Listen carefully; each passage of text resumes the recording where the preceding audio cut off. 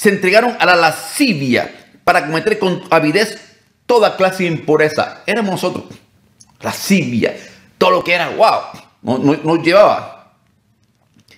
Mas vosotros, versículo 20, mas vosotros no habéis aprendido así a Cristo, si en verdad la habéis oído y habéis sido por él enseñados, conforme a la verdad que está en Jesús. La diferencia. Y somos de Cristo, nada que ver, la cosa es diferente. Por eso, bueno, nosotros siempre autonalizarnos, autonalizarnos. ¿Cómo estamos? ¿Estamos haciendo la misma cosa o viendo las mismas cosas que la gente que no conoce de Dios? Y por eso vienen los ayayay, ayayay, ayayay. Claro, porque hacemos cosas igual a la gente del común, a la gente que no conoce, que no tiene temor de Dios. Y ahí es el problema, por eso que eh, Dios me da estos mensajes a mí, a decirlo aquí, porque hay muchas, hay muchos, ustedes saben qué hace, hay muchos que usted ve a ese hombre o mujer, dice que es de Dios, pero lo dice, dice que es de, usted sabe que es cristiano, porque dice que es cristiano, pero los hechos demuestran lo contrario. Y eso se ve mucho, mucho, mucho. Y usted y yo no debemos ser así, mi hermano. No debe ser así. Por eso es muy importante con quién andamos nosotros. ¿Qué estamos escuchando? ¿Cuáles son nuestras amistades?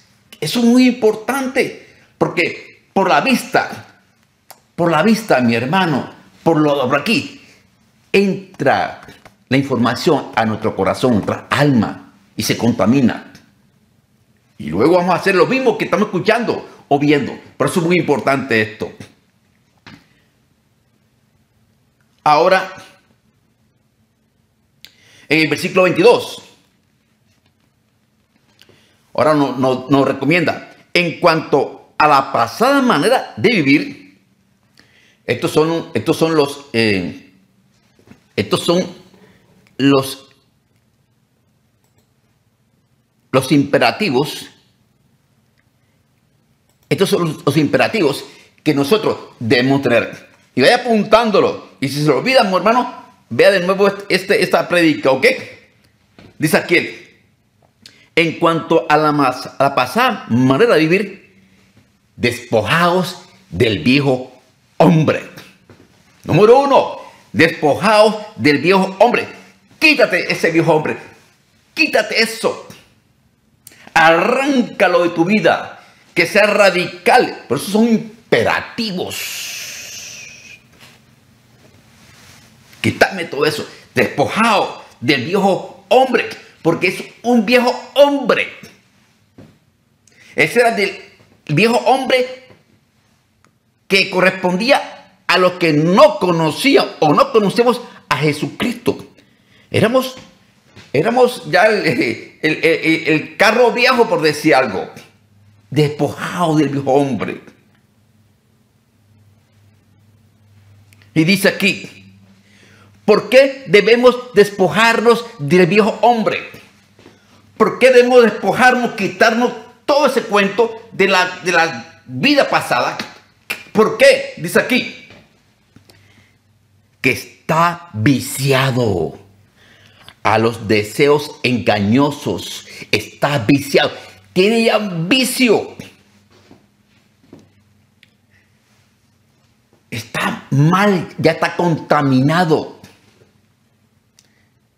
¿Y por qué está contaminado? Dice, por los deseos engañosos. Tremendo.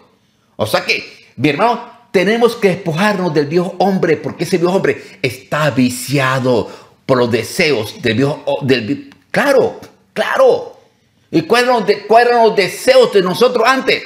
Bueno, son innumerables, mi hermano. Innumerables. Y casi todo, la mayoría, muchos, el porcentaje alto, está, está viciado por los deseos de la carne, de la lujuria. De la lujuria del acto sexual, hablando más, más fuerte, del acto sexual, de la fornicación, de la fornicación. Está viciado, ese cuerpo está viciado. Eh, quieres es placer, es placer, eso ya. Tenemos que despojarnos de ese viejo hombre. Eso es un imperativo de nosotros, mi hermano.